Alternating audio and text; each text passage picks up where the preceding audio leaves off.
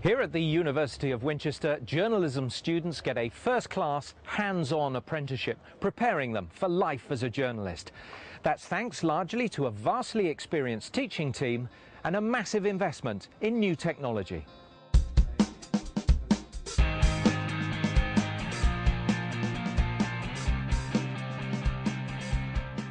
From an industry point of view, looking at this course, it's hugely encouraging because it seems almost the course is ahead of what the industry is doing in the websites, in your plans for bringing the video online um, and organising the newsroom in a multimedia way. Well, this is the aspiration of the BBC at the moment. But what a great opportunity to really, really try and push and find out everything. Test yourself and the equipment and the people and the lecturers and push them to their best. You can do it here. Top technology, fantastic facilities and industry expertise to match.